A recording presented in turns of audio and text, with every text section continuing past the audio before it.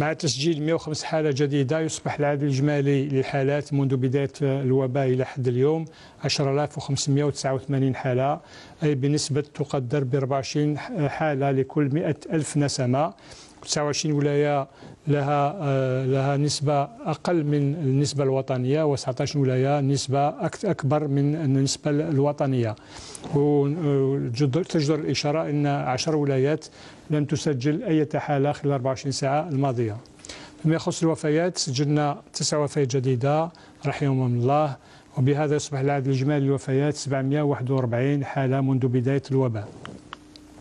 75% من الحالات تاع الوفاة عندها عمر تاعها من 60 سنة فما فوق. فيما يخص الحالات اللي استفادت من العلاج حسب البروتوكول المعلوم به عددهم 21213 منهم 9170 حالة مؤكدة حسب التحاليل المخبرية مؤكدة و 12043 حالة حسب الأشعة وسكانر.